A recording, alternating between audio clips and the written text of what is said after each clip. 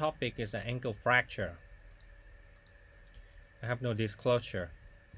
Uh, ankle fracture is uh, maybe the first and the second most common uh, fracture in humans among all age groups. Uh, if you look into only the adult type, it can be the most common fracture. But in the elderly patients, uh, hip fracture may be more commonly than the ankle fracture. Mechanism of injury can be a low energy trauma such as a simple fall or twisting ankle, or the high energy trauma such as a car accident or motorcycle accident. So this factor usually occur in a female uh, more than uh, 50 years old and also obesity patients. Uh, the first thing I'd like you to know is the surface anatomy of the ankle. Uh, when you look uh, ankle from the front, uh, the most medial part, the prominent here. So this is the surface anatomy of the medial malleolus. The next tendon that you can see uh, bulky right here is the tibialis anterior tendons. And if you go mm, the last one, uh, tendon that's prominent on the outside part of the ankle, we call peroneus tertius. And the last bony prominent on the outside part of the ankle, we call the fibula.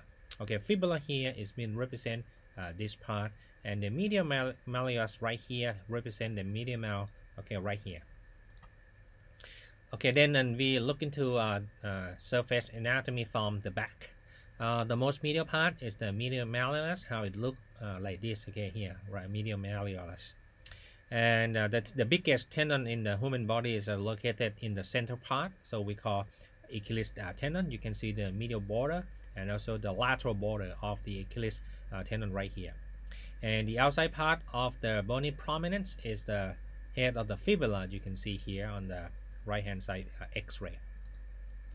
Uh, for the ligament uh, around the ankle, as I mentioned in the ankle sprain, uh, you guys understand uh, uh, a lot about the lateral ankle uh, ligament. But this one, they have another group of the ligament. It's slightly above the ankle joint, so we call syndesmosis. So if you look into my pointer right here, you can see the tip of the fibula. You have a group of the ligament attached from the tip fibula obliquely to the distal parts of the tibia. So uh, we call this uh, syndesmosis. They have three uh, components, the lower part, middle part, and the superior part. And I just like you to know, uh, we call a group name as syndesmosis. The function is try to uh, maintain uh, the distal fibula to the distal tibia, uh, and they try to keep this bone together when the syndesmosis torn.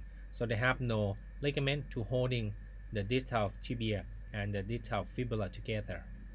So this can cause pain and also arthritic change in long term if you have syndesmotic injury and not have adequate treatment. So uh, for the grouping injury on the ankle, so uh, for the bony fracture, we can grouping them in uh, fibular fracture, uh, medial malleolus fracture, posterior malleolus fracture is a combination between uh, fibula and medial mal and medial mal and posterior mal. Uh, if the bone occur only one, we call isolated uh, fibular fracture or isolated medial malleolus fracture, or isolated posterior malleolus fracture. But if you have two of uh, three, we can call bimalleolar fracture. But if all of these fracture, we can call tri uh, malleolar fractures.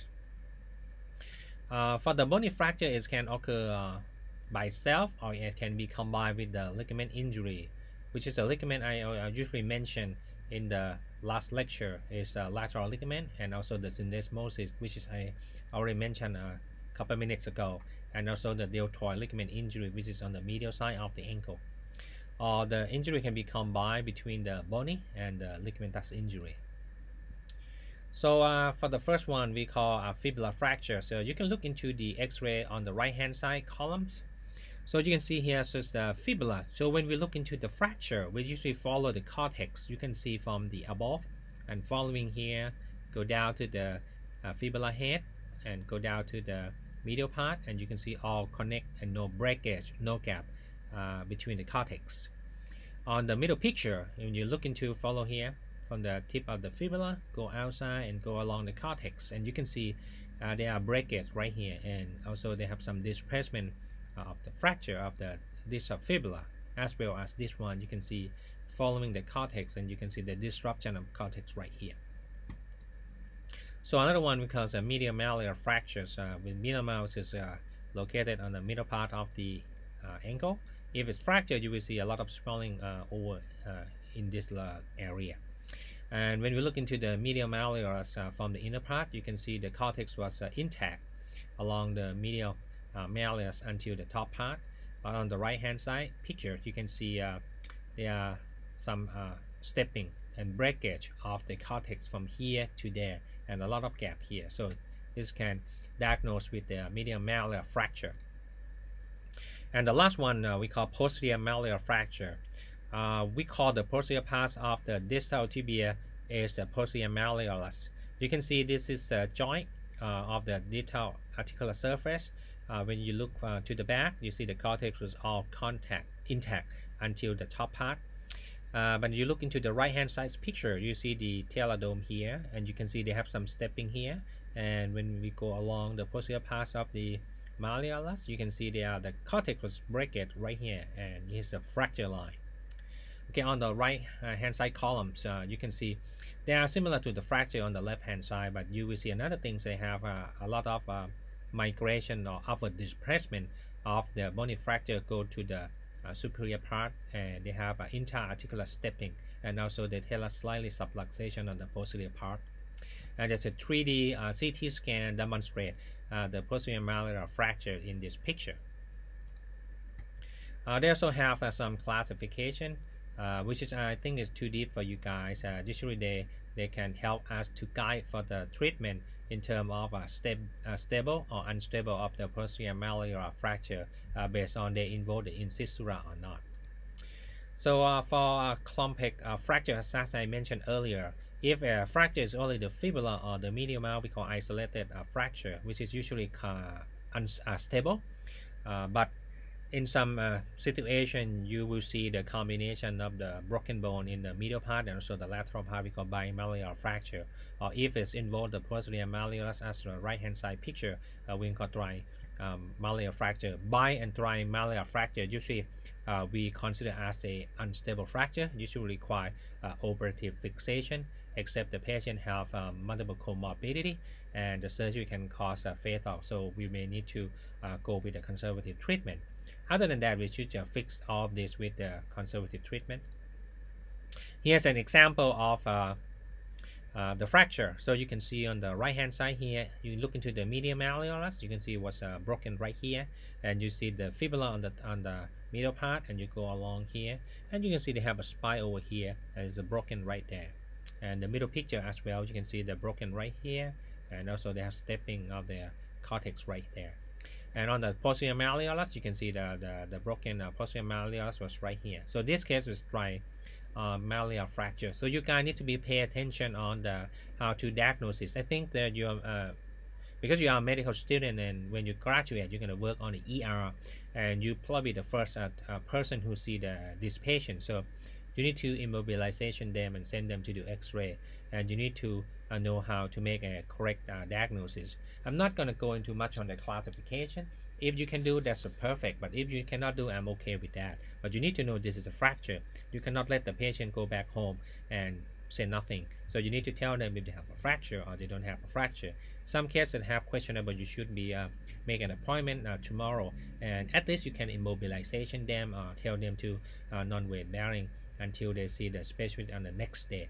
So uh, in terms of your inter, uh, evaluation, I will ask you, you guys about how to make a correct uh, diagnosis by looking to the X-ray. So you need to understand this uh, uh, well, okay, in order to get the good score. So uh, for the classification, uh, there are two common classification that has been used in Thailand. So the first one we call Weber classification. So this one we uh, based on the location of syndesmosis. If the fracture was below the syndesmosis, we call uh, this uh, distal to syndesmosis, we call the Weber A. If the fracture was at the syndesmotic level, we call Weber B. But if the fracture above the syndesmosis, we call Weber C. So uh, here's an example of the X-ray. You can see here the syndesmotic level is just about right here. You can uh, draw the line from the ankle joint and go up about 3 centimeter. This is the location of the syndesmosis. And in this part, the A picture, you can see uh, the broken uh, below the syndesmosis is a Weber A. And in the uh, B picture, you can see the fractures uh, at the syndesmotic level. That's what we call uh, Weber B. And the picture C, you can see the fractures above the syndesmosis. That's why we call Weber. This is quite uh, easy for you that you can uh, tell the resident or the staff that you see the patient and the fracture is where, which is located in uh, location rep, uh, by refer to the syndesmosis so will help they understand where is the fracture site and another classification we call Lauge-Hansen classification they are based on the mechanism of the injury. So they have two words. So the uh, for example on the uh, bottom line here you can see the supination external rotation. Uh, the the first word usually present the position of the ankle and the sec second word usually represent the direction of the force during the ankle injury. So uh, they have uh, for system. Uh, a little bit too deep for you guys but I just to show you here the supination external rotation they have type 1 type 2 type 3 type 4 you can search online in this website. They have a very good videos and picture. You can go to YouTube and look into the video online which is going to tell you uh, a lot of detail and make you understand how the, the ankle start to be broken at the first part at the ligament. Uh, okay and, and about go to the fibula and then go to the posterior malleolus okay and fibula fracture and then go to the posterior malleolar fracture and then finally go to the medial malleolar fracture. Okay you can look into here online. Okay and the next thing will be a supination adduction. Which have a two type and uh, pronation external rotation have a four type and finally the pronation abduction have two type okay for classification maybe a little bit too deep for you guys okay I want you to make a correct diagnosis. Uh, classification is be a little bit beyond for the five, fifth year medical student. And for the treatment, so if uh, isolated uh, fracture, as I mentioned earlier, usually a stable fracture, you can, uh, if it's this less than two millimeter and stable uh, medial side, so usually you measure the medial clear space. If it's uh, less than four to five millimeter, we consider to be stable. But if it's uh, widening on the medial clear space, they're likely to be a type three uh, but they show up like type 2 we call as um, supination external rotation type 4 equivalent or variance okay? Uh, a little bit too deep for you guys but you just make sure that uh, you know the fracture right here. Okay for the fibula fracture if it requires surgery like displacement like right this uh, patient and you can see the medial clear space was widening compared to the last extra uh, picture I go back here you see that there's a small space uh, here but you can see the wider space right here okay it's uh, likely to be an unstable fracture. For, for the fibula we usually we perform the, the fixation by using a plate and uh, lag screw. Uh, we should go with lag screw and for the plate system we go about six to seven hole uh, based on the Rockwood uh, textbook. So nowadays we prefer uh, seven holes. And this power part at least you get three cut three holes. And proximal pass for three holes for a three hole on the distal part, right now they prefer to use a cancellous screw uh, later than the cortical screw. Uh, this is for the fixation of the fibula fracture. For the medial malleolar fracture, you can try a conservative treatment if it's non-displaced uh, fracture uh, by a short leg cast or a CAM walking boot uh, for six weeks and then following x-ray until you see the callus formations. Uh, in some patients who have displacement, uh, uh, they want uh, to return to activity earlier so you can try the fixation by using multiple screw usually we go to two screw uh, one at the anterior colliculus and, and the other one at the intercolliculus on the medial part of the uh, medial malleolus and the last one was a posterior malleolar fracture. If it's non-displaced and small piece, you can try a conservative management. But if it's a large piece involve more than 25% of the articular cartilage, uh, sometimes it's associated with the uh, displacement of the talus to the back. Uh, in this part, you may need to do the surgical fixations.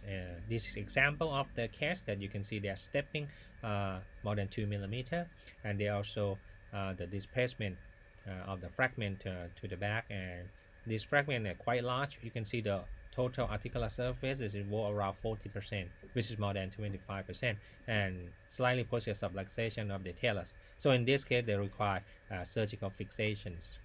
And when we do, we should do a posterolateral approach to the back of the ankle. And you can fix this piece after you do a cross reduction. You can fix by a screw. Uh, you can go by a plate and screw fixations. So for take home message, so I, I want you guys to uh, understand uh, how important of the ankle fracture, which is maybe number one or number two of the common fracture in adult. And uh, there are two classifications, Weber and uh, Lauge-Hansen classifications. And, and the operative treatment usually prefer if the fracture displacement or the patient with bimalleolar arthritis fractures. Misdiagnosis can lead to uh, patient disability or end with ankle arthritis. And like I said at the beginning, so you guys need to be uh, know how to make a correct diagnosis when you look into the X-ray. Okay, this is an important thing that you need to be reviewed. So thank you for your attention.